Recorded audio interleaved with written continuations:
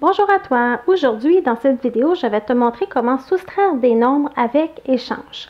Alors, tu vas voir, je vais te montrer comment faire des échanges lorsque tu as une soustraction comme celle-ci en utilisant du matériel. Alors, la première étape, ben, c'est d'aller voir justement l'équation mathématique qu'on me demande. On me demande 32 moins 15, ça fait combien?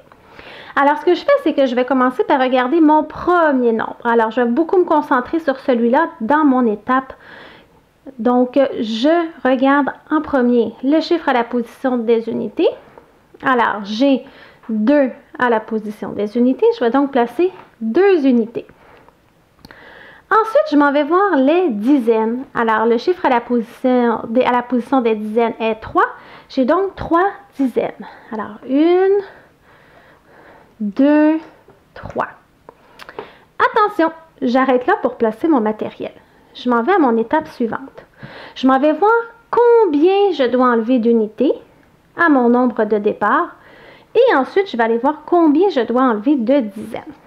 Alors ça se pourrait que j'ai des petits échanges à faire. Alors regarde bien comment ça fonctionne pour échanger lorsque tu as une soustraction. J'ai mes deux unités.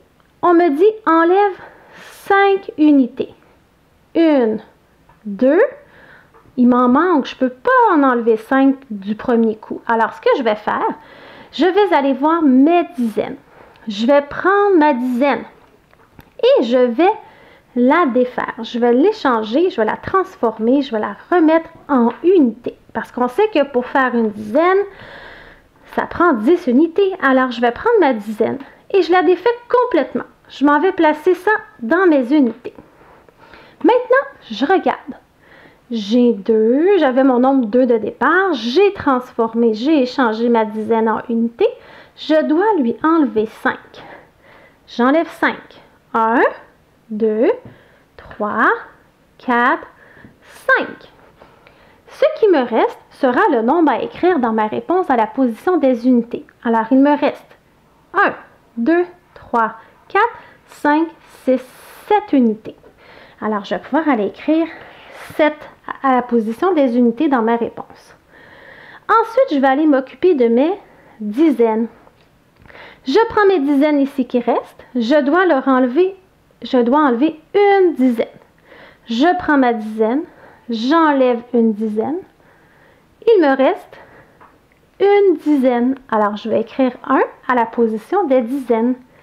Grâce à mon échange et en y allant étape par étape, j'ai pu trouver que 32 moins 15 est égal à 17.